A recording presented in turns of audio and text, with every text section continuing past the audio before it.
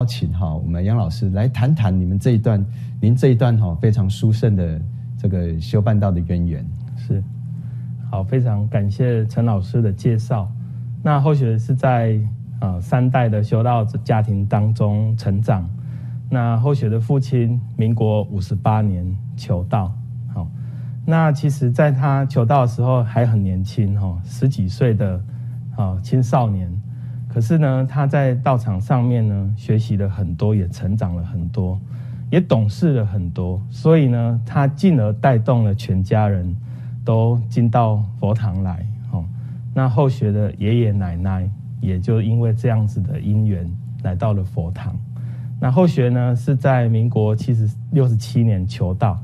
哦，在三岁哦，三两岁多，快三岁的时候，六十七年，六十七年后学还还没出生，是这样子吗？后学是六十八年出生，好，那后学稍长你一点点哈。那其实一晃眼已经四十多年，真的。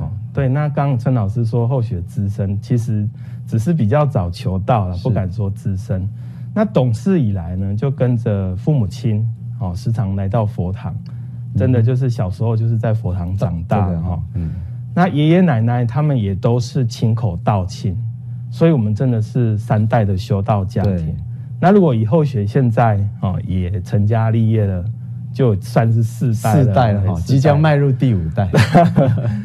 那所以呢，爷爷奶奶那时候呢年纪都比较大了嘛，对，但是他们还是时常回佛堂上课，也时常度人，所以我们整个家庭呢就是一个非常。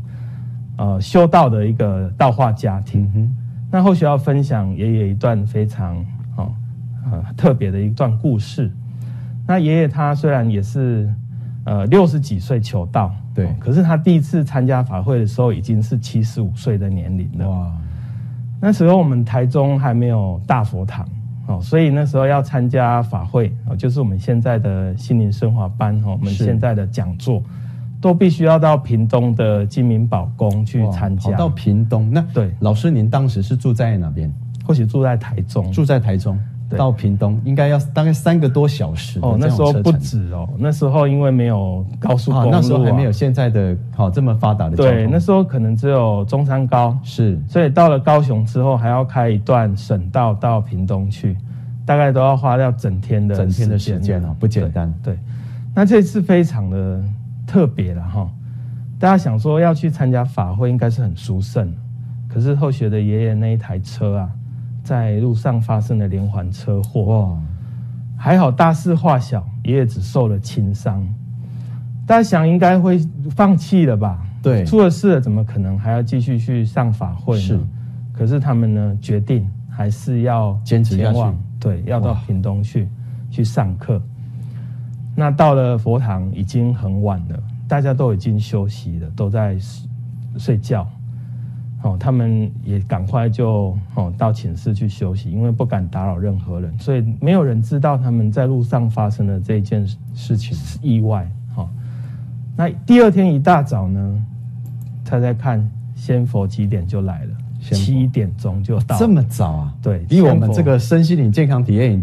足足早了几乎快两个小时。对对，那通常都是班员等仙佛啊，可是呢，这一次竟然是仙佛来等班员。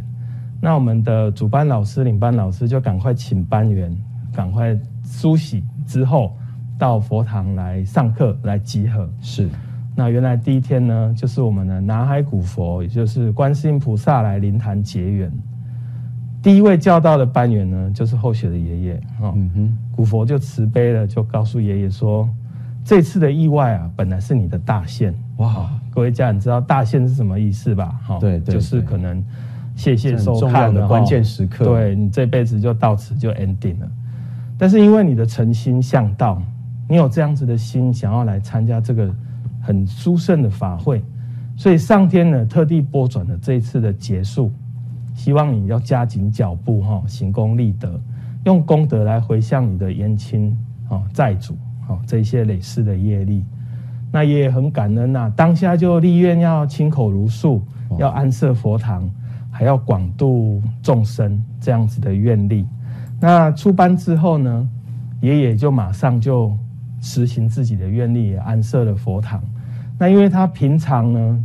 已经是退休的生活。对他早上会到学校去运动，嗯哼，然后会到庙里面去看人家下棋，就这样跟人家互动，也结了很多的人缘，所以他也度了很多的人。